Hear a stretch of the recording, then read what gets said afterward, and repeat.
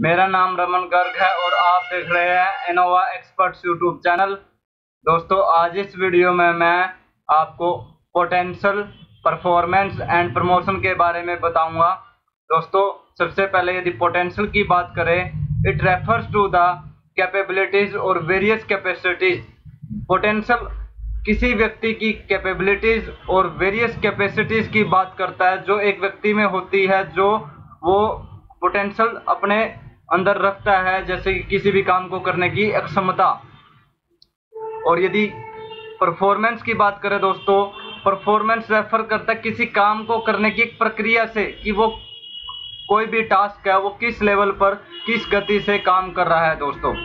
Number third यदि promotion की बात करें तो ये एक कम्बिनेशन होता है पोटेंशियल का और परफॉर्मेंस का। या यूँ कह सकते हैं कि ज़्यादा से ज़्यादा प्रमोशन कब होगा?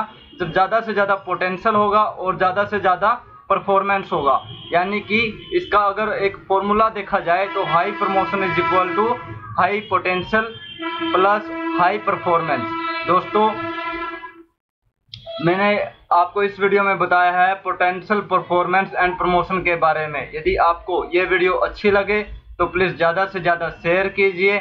इस वीडियो को देखने के लिए आप सभी दोस्तों का धन्यवाद। जय हिंद।